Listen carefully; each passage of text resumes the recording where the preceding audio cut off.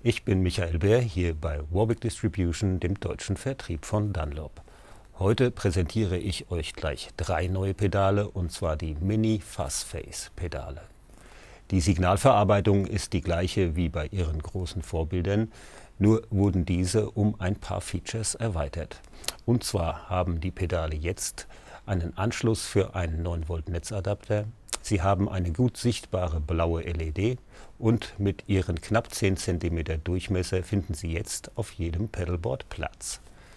Mein Setup, diese Strat aus dem Fender Custom Shop, bezogen mit Cleartone EMP Strings der Stärke 9 bis 42.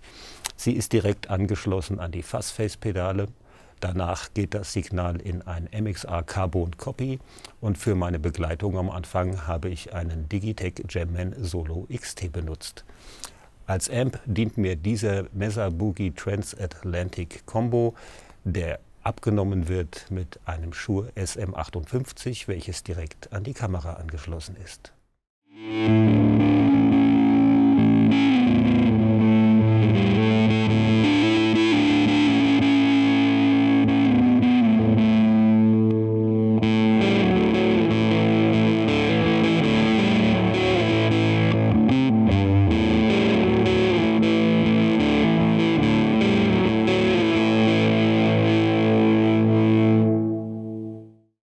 Die Dunlop Mini Fuzz Face Pedale im Einzelnen.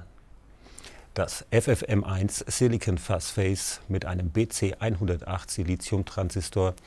Mit diesem Fass wird die stärkste Verzerrung erreicht. Das Klangbild ist eher von den Mitten aufwärts prägnant. Euer Bassist wird's euch danken. Weniger Verzerrung, dafür aber mehr Bässe für den kultigen Fasssound der 66er bis 68er Ära bringt das FFM2 Mini Fassface unter Verwendung eines Germanium-Transistors. Das FFM3 Jimi Hendrix Mini Fassface hat exakt den gleichen Schaltkreis wie sein legendäres Vorbild, jedoch jetzt im Pedalboard-freundlichen Format mit LED und Netzteilanschluss. Klanglich bewegt es sich zwischen dem FFM1 und dem FFM2. Um die Unterschiede deutlich zu machen, spiele ich jetzt einmal das gleiche Riff mit allen drei Pedalen nacheinander.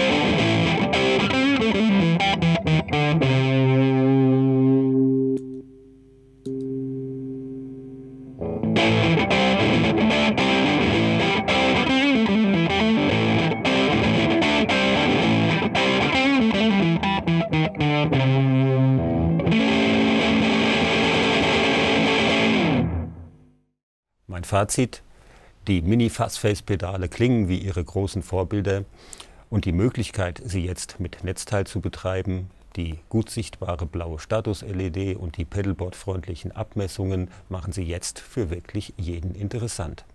Für diejenigen unter euch, die ein Gehör wie Eric Johnson haben, lassen sie sich selbstverständlich nach wie vor auch mit Batterie betreiben.